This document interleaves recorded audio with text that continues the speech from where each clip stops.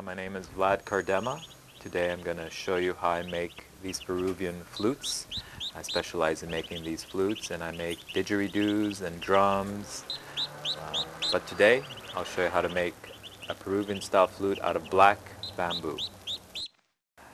You're going to need clamps to clamp down your work.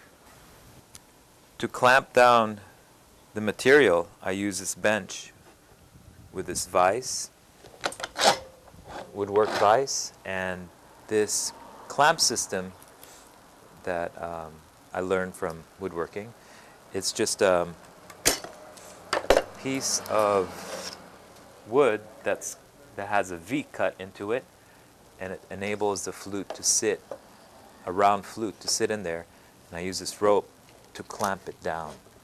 And that way I can drill the holes and make the mouthpiece and makes it easier and manageable.